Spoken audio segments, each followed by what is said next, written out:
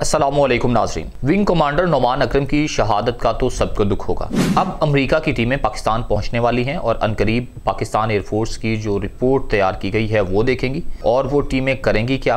یہ آج کی ویڈیو میں بتائیں گے۔ آخری کار ایف سکسٹین کیسے گرا؟ اس سے پہلے آپ کو ایک کلپ دکھاتے ہیں کہ ونگ کمانڈر نعمان اکرم کی آخری گفتگو کیا تھی۔ جب بھی قوم کو، ملک کو، ایئر فورس کی ضرورت پڑی تو انشاءاللہ ہم اپنی جان کا نظرانہ دینے سے بھی دیریک نہیں کریں گے اور جو کچھ ہو سکا، ہم اپنے ملک کے لیے کرنے کے لیے تیار ہیں۔ اس لیے آپ لوگوں سے ہماری یہ ریکویسٹ ہے کہ آپ اپنا کام جاری رکھیں۔ بالکل پریشان نہ ہوں۔ آپ بالکل محفوظ ہاتھوں میں اور انشاءاللہ Pakistan air force is always there to take care of the whole Pakistan Zia ul-Haq نے کس طرح امریکہ کو بیوقوف بنا کر ایف سکسٹین لیے اور اس کے بعد پابندیاں کیسے لگی پاکستان پر اور ان کی ٹیم پاکستان میں آخرکار کرنے کیا آ رہی ہے۔ ویڈیو میں آگے بڑھنے سے قبل اس ویڈیو کو لائک کریں اور چینل سبسکرائب کریں تاکہ اسی طرح کی ویڈیوز آپ کو مزید بھی ملتی رہیں۔ اصل میں جب ضیاء الحق نے امریکہ سے ملے ان سے گفت و شنید ہوئی، تعلقات بہتر ہوئے۔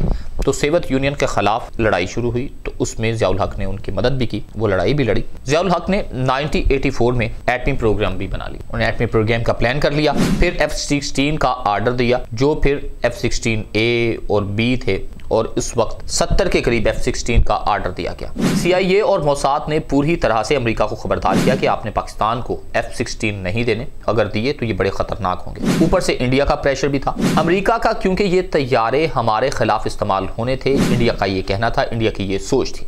اس لیے آپ انہیں نہ دیں۔ اگر آپ نے پاکستان کو یہ طیارے دیے تو پھر ہم آپ کا ساتھ نہیں دیں گے۔ ناظرین، پاکستان کو جو پہلی کھیپ ملی 1983 میں ملی تھی۔ ضیاء الحق نے اپنی موت سے قبل پاکستان کو چالیس ایف سکسٹین طیارے دلوائے تھے۔ اب 6 اکتوبر 1990 کو امریکہ نے پابندی لگا دی کہ پاکستان کو کوئی ہتھیار نہیں دیے جائیں گے کیونکہ یہ ایٹمی پروگرام بنا رہے ہیں۔ پھر مشرف کا دور آیا۔ امریکہ پوری دنیا میں جا کر بتاتا پھرتا تھا کہ ہم نے پاکستان کو ایڈ دی ہے، ہم پاکستان کو ایڈ دے رہے ہیں۔ مشرف نے غصے میں بات کی کہ کس چیز کی ایڈ دی جا رہی ہے؟ کون سی ایڈ کی آپ بات کر رہے ہیں؟ ہم آپ کو سروسز دے رہے ہیں۔ ہم آپ کو اپنی زمین استعمال کرنے دے رہے ہیں۔ آپ کے ٹرک ہماری زمین سے ہو کر جاتے ہیں۔ اگر ہم نے نقصان کے پیسے لینے شروع کر دیے تو آپ کو اندازہ نہیں کہ کتنے پیسے بن جائیں گے۔ اس طرح دباؤ ڈال کر مشرف نے باقی کی جو ڈیلیوری رہتی تھی اٹھائیس سے تیس تیاروں کی وہ کروا لی۔ ناظرین، ویڈیو کے آخر میں پھر آپ سے کہوں گا کہ نعمان اکرم بہت قابل پائلٹ تھے۔ انہوں نے باقاعدہ ان کے ساتھ اور بھی ان کے ساتھی تھے جو پائلٹ تھے، انہوں نے امریکہ سے جا کر ٹریننگ لی اور ریفیولنگ اور باقی بھی تمام جو ہیں چیزیں